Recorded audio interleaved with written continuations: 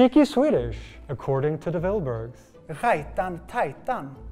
It translates to Rajtan Tajtan. It's a fun way of saying intercourse. In a sentence, do you want to join me for some rajtan tajtan?